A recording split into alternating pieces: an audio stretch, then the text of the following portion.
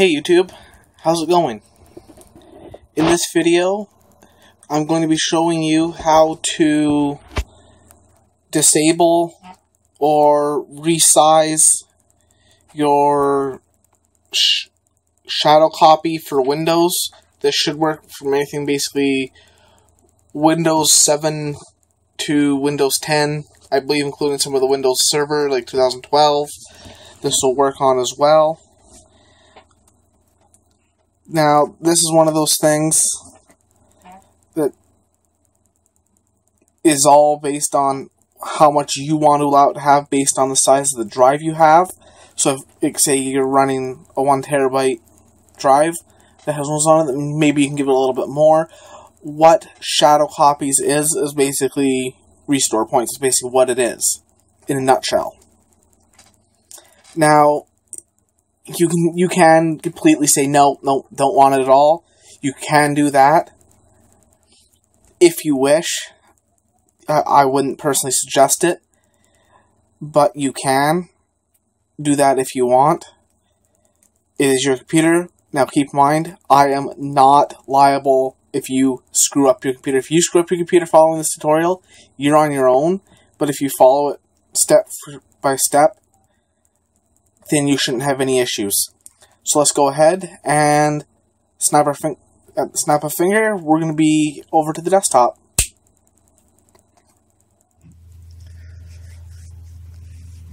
Welcome.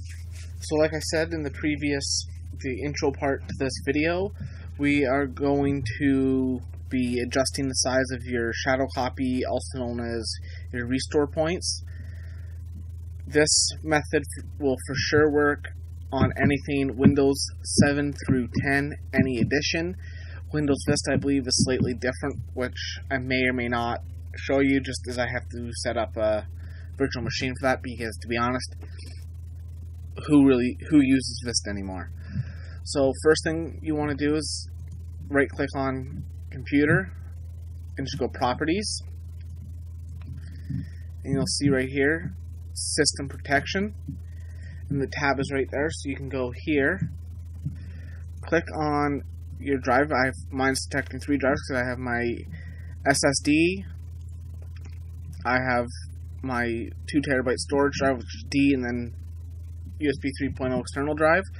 You can also there's different things you can configure such as like you can clear anything that may be in there out. But this is also where you can adjust the limit of how much it can take. And the option, again, here to disable it is totally up to you. Usually I just give it 10% opposed to what it was before, which is about 20%. I usually give it 10%. Now, if you have an SSD, you know, it may be an option to consider just disabling it if you just don't care. Yeah, you can leave it on because this is always changing, is always writing to the SSD. So it's up to you how you want to go with that one. If you want to disable it, if you don't, then that's fine too. So I'm going to do is I'm going to hit apply, okay.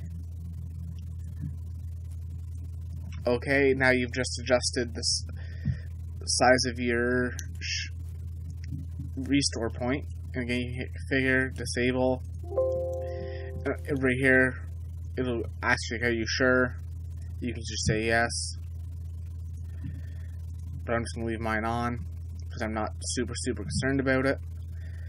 And that is basically how easy it is to adjust the amount of storage on your drive that shadow copy can take. Now keep in mind, say my OS drive, I was just running a mechanical drive, and say I was running 4 terabyte, you know, that 20% would have been a lot larger than what it was. So keep that in mind too.